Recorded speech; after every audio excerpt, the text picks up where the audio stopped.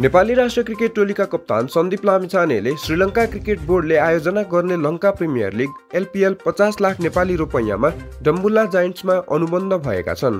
श्रीलङ्कामा जारी ड्राफ्टमा सन्दीपलाई डम्बुल्लाले चालिस हजार डलर अर्थात् पचास लाख छयत्तर हजार नेपाली रुपैयाँमा अनुबन्ध गरेको छ।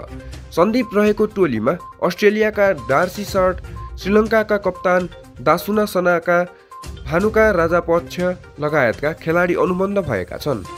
सन्दीप इन्टरनेसनल डायमन्डको समूहबाट अनुबन्ध भएका हुन्। अक्सनमा तिन सय त्रिपन्न खेलाडी रहेका थिए। एक सय असी विदेशी खेलाडी र एक सय त्रिहत्तर श्रीलङ्का खेलाडी रहेका छन्। ड्राफ्ट बिस राउन्डसम्म चल्नेछ। एलपिएलमा पाँच फ्रेन्चाइज टोली रहेका छन्। एलपिएल दुई हजार बाइस एकतिस जुलाईदेखि एक्काइस अगस्तसम्म श्रीलङ्कामा हुनेछ। सन्दीपले पछिल्लो समय बिग बास लिग होबर्ट हुरिकेन्सबाट खेल्दै आएका छन्। बिग बास बाहेक अन्य विदेशी फ्रेन्चाइज लिग भने पछिल्लो समय सन्दीपले खेलेका छैनन्। गत सिजनमा आइपिएल अक्सनमा चालिस लाख भारू अर्थात् छयत्तर लाख नेपाली रुपैयाँमा अक्सनमा राखे पनि सन्दीपलाई कसैले पनि किनेका थिएनन्। नेपाली टोली क्यानाडामा छ।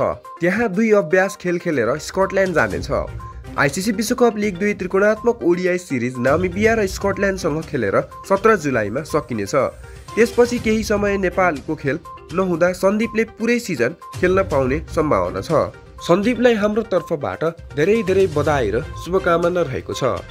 हस् त यो भिडियोमा यति नै। हजुरहरूलाई यो भिडियो राम्रो लागेमा भिडियोलाई लाइक कमेन्ट र सेयर गरिदिनु होला र हजुर यो च्यानलमा नयाँ हुनुहुन्छ भने च्यानललाई सब्सक्राइब गरी छेउमा रहेको बेल आइकन पनि अवश्य दबाइदिनु होला र हजुरहरू मलाई सोसियल मिडिया मार्फत पनि फलो गर्न सक्नुहुनेछ।